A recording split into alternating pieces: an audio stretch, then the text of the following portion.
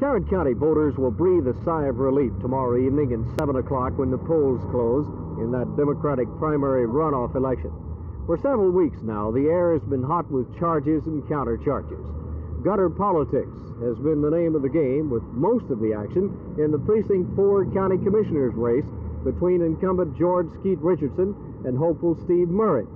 Both candidates have been accused of dirty politics due to phantom mailings to voters, which have been aimed at Steve Murrin primarily.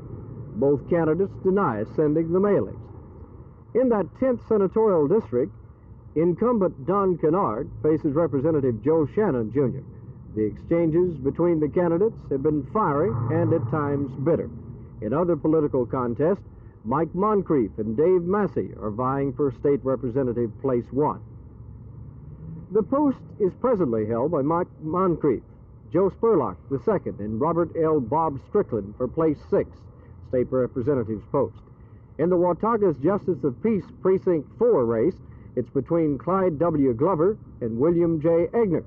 In addition, there are three runoffs for Democratic Precinct Chairman. This is Art Sinclair, Channel 8 News on the Move, Tarrant County.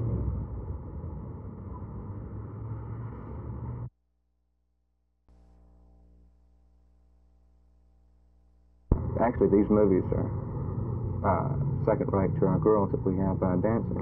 Well, do you think uh, do you think this is wrong? This crackdown uh, attitude that uh, the law is taking on uh, so-called obscene literature?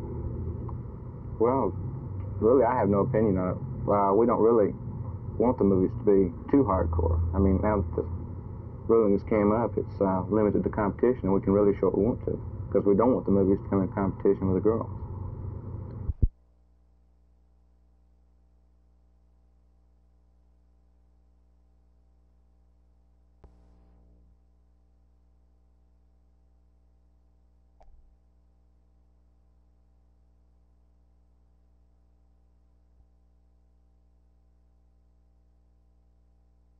Well, number one, uh, the upholding of it, we've been under a restraining order from Judge Taylor that we couldn't file any charges or try anybody or uh, bring any restraining orders.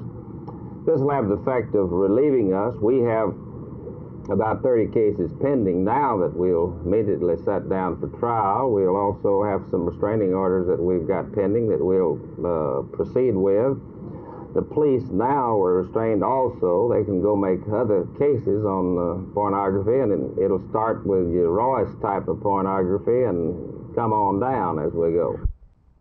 Rush into this theater and let us turn on your pleasure machine.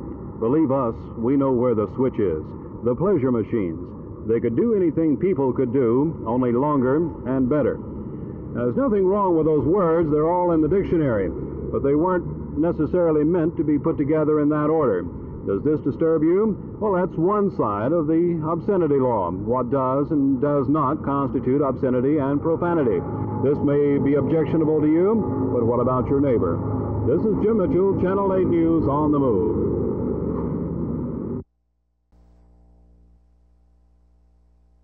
On the sixth floor of the Dallas County Records Building here is located a state welfare agency which may be in trouble.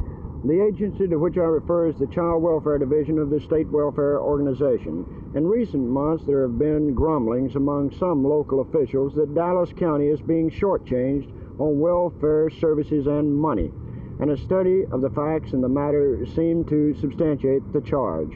Five years ago, when the county turned child welfare over to the state, the state promised 65 workers in the office here. Five years later, there are only 44 workers in the office, and many of these are performing duties in no way related to child welfare. What really disturbs some local officials is that uh, some of the workers use Dallas County facilities and expense money to drive to Ellis and other counties to perform work they should be doing in Dallas County and this perhaps would be okay, except there are indications they aren't doing the job in Dallas County. As an example, one disgruntled caseworker told me the agency did not process a single child abuse case during one recent one and a half month period. And that wasn't because there weren't any cases to be processed. The situation has reached the point that a number of concerned citizens several months ago decided to form an investigating committee and look into the matter. The results of that investigation are to be presented to Dallas County Commissioners Monday, and their reaction might be interesting. It is the responsibility of the County Commissioners Court to provide services for the less fortunate children of this county. One county commissioner I talked to assured me that the county is paying for that service, and he said, uh, one way or another, the county is going to get it. This is Tommy Ayers reporting for Channel 8 News.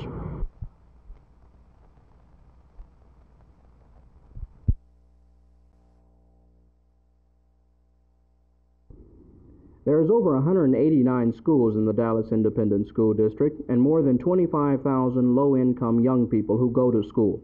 Those young people need extra money to buy clothes and school supplies. The Dallas Independent School District last year had a pilot project that directly and indirectly helped those students. Richard Musgrave, the Dallas Independent School District Director of Maintenance, explains.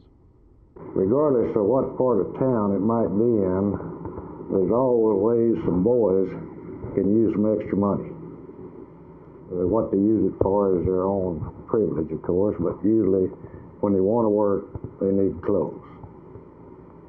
Did you hear any complaints from the regular custodians, janitors, and maids? Personally, no.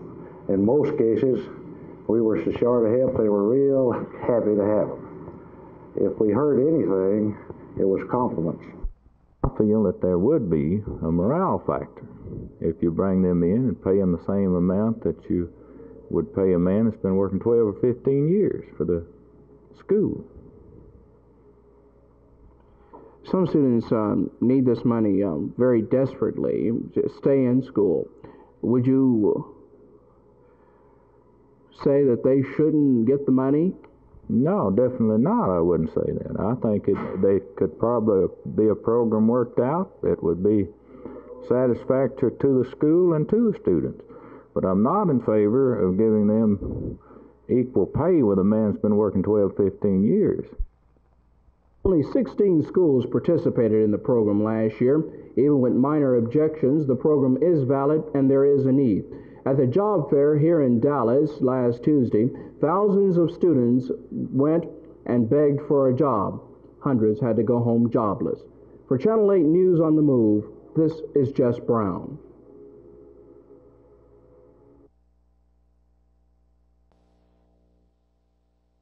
Uh, John Baker.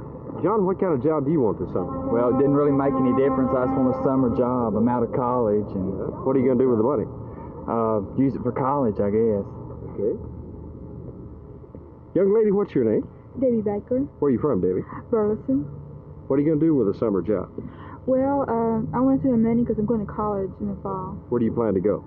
Brantley Draughon, Business College. Any particular type of job you'd like to have? Yes, an office job if, if, if I could.